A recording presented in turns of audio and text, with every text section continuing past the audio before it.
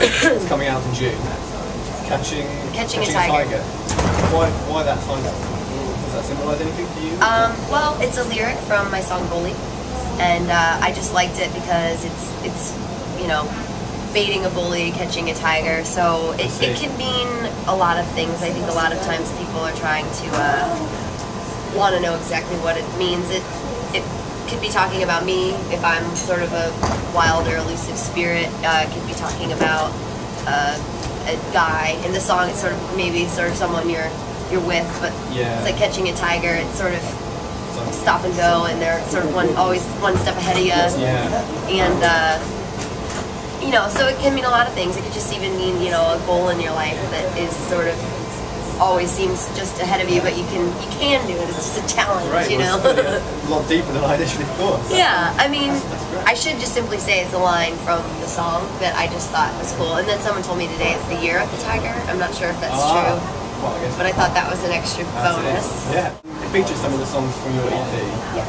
and some other songs. Mm-hmm. Um, what, what can we expect from them? Are they in a similar vein, or are they any surprises on the record? Well, I think initially it was more, um, you know, the singles off the album I recorded in Nashville last year, and, and they have a bit more of that texture to them where, you know, they were made to hopefully get on the radio. Yeah, Um, yeah. But the great thing is I also worked with this producer, Bill Reynolds, and, uh, you know, we sort of worked in a way where, where there wasn't really a goal in mind. We were just sort of being creative and having fun, and um, and he's you know a genius musician and producer, so um, and writer. We wrote some songs together, and uh, and so I think the great thing about the album is you can expect you know sort of the, the catchy tunes and the Yeah. big the big tunes, but then also some that are a bit um, you know Americana, a bit of indie. Uh, uh, you know, just sort of a lot, a lot of different topics covered. You know, relationships, sort of soul searching, kind of uh,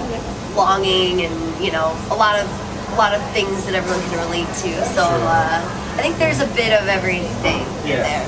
But I think hopefully it feels like one big album because I wanted it to feel like a collection and not just a bunch of random bits. So, You grew up in Rock Island, Illinois. yeah, and then moved to LA. Yeah. That, um, how did you make that decision? It seems quite a brave decision well, to move to LA. It wasn't quite that straight on. I grew up in Rock Island, Illinois, which is about three hours west of Chicago on the Mississippi River by Iowa. Yeah. And uh, it's like the Midwest. It's like a city of like 35, 40,000 people, but you know, near other towns, but also you didn't have to go far to get to the country.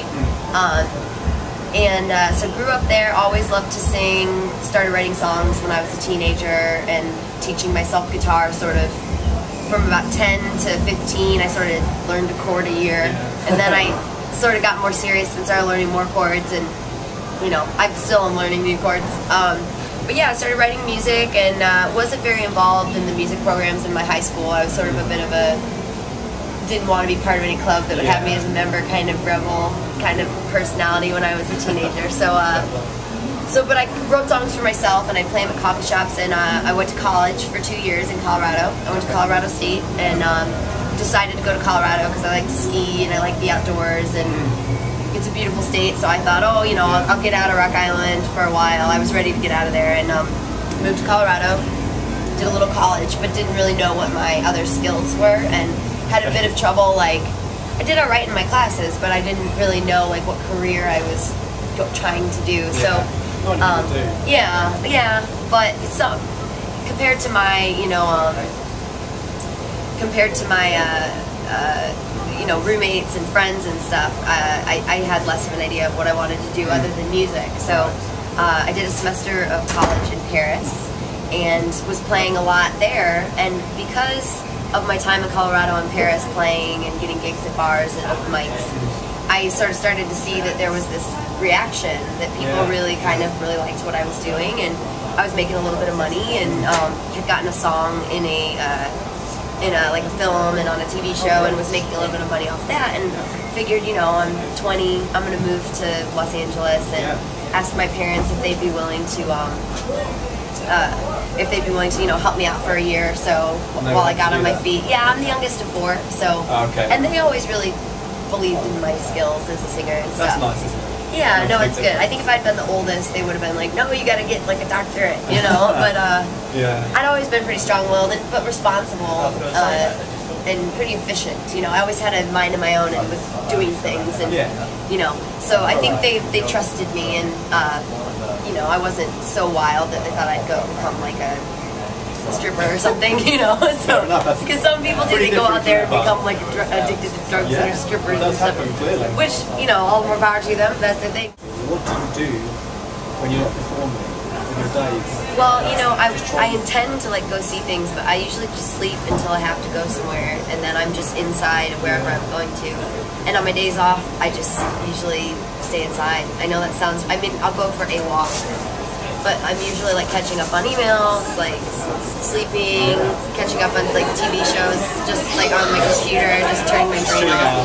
Totally chilling, like not wanting to like even brush my teeth, like. It's just like I'll wake up and I'm just like I'm not gonna like do. I'm not even gonna get out of my pajamas. I'm just gonna do Wow. nothing. Sounds like my housemates. Oh gosh. Well, I don't do it often, so. Um, no, but yeah, like hopefully, like you know, be be successful. You know, do well, sell albums, get to travel and tour and play lots of shows, but also be able to sort of enjoy the places I'm traveling to, and then you know, as I go along, you know, be able to also have another side to me that's just me that gets to hang out at my Yeah. house and be a normal, you know, citizen in the town I choose to live in, and um, you know, have have moments of like activity and then some moments of uh, like gardening and Yeah, working yourself. on cooking and you know uh, spending time with family and friends and but right now I'm like willing I'm like I will go every single day until I drop if I have to but like in the distance I know like I am gonna get to like sit Yeah. by a pool with like a drink in my hand at some Well, point things are definitely yeah growing in quite a rate, it seems. So, Yeah. Best of luck for that. It's been wonderful talking to you. Yeah, good Um, talking to you. Just briefly, um, so the album's coming out in June.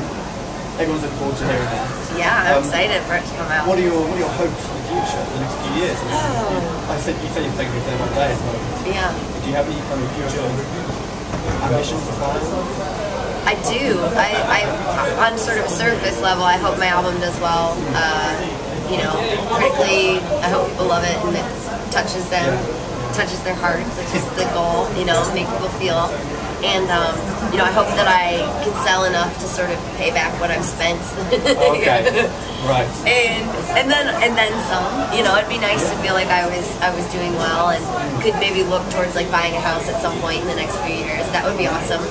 Um, Will you will they back in uh, California? yeah, but you know, then the better I do, I'll- maybe I'll get one in London. Yeah, get one in London. I do have an English boyfriend, so maybe you know, you never know.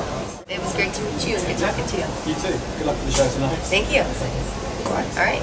I am a